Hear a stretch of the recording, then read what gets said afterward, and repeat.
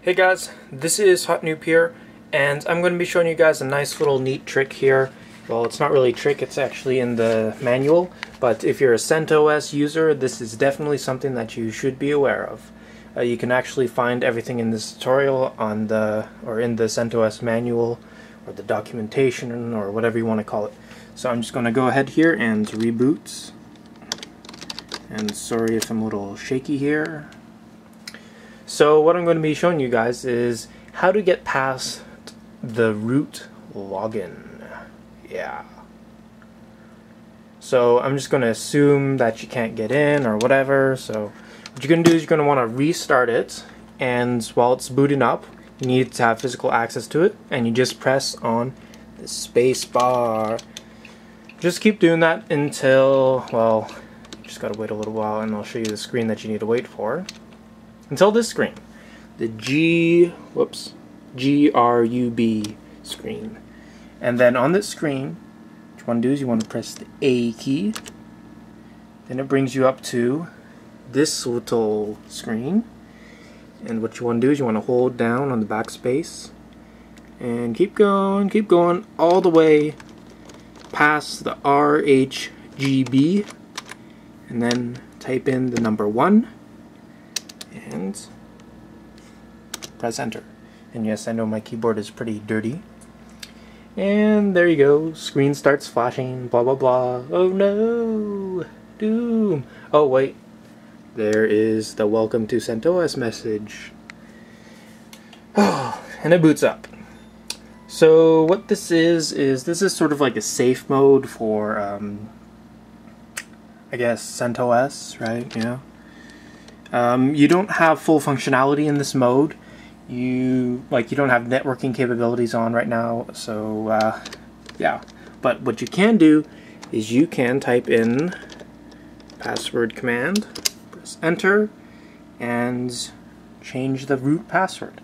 So in this case, for this example, I'm just going to type in password, and you can sort of watch me here. Pass word.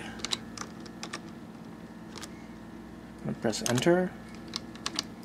This way you guys can tell that I'm not actually lying about this and that it actually works. And it says updated. I'm just going to go ahead here and reboot. So restarting. I know, I know. So while it's rebooting, I might as well go up over some uh, basic defenses for stopping people from just coming over to your house and changing your password. Like, as you can tell, it doesn't actually take that long. It takes like 10, 30 seconds, whatever, to do, um, depending on your computer. So, uh, yeah, the best defense is to simply not put in a monitor. Just hide all of this shit. Hide the keyboard, hide the monitor. You don't even need it for CentOS, right? Well, depending on um, what setup you got, but if you got a nice server setup, you don't need a monitor or keyboard. As long as you remember your username and password, you just go on your laptop or computer or PC and um, SSH into it, and yeah. So here we are, and I'm just going to log in here. So root,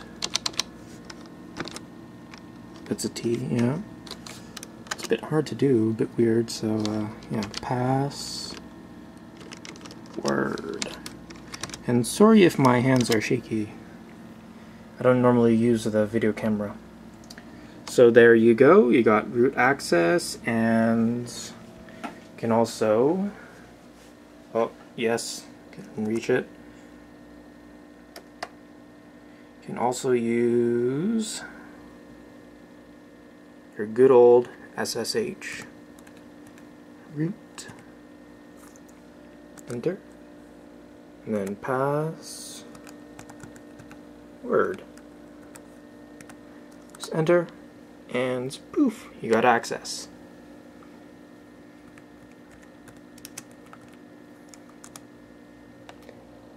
Yay, access.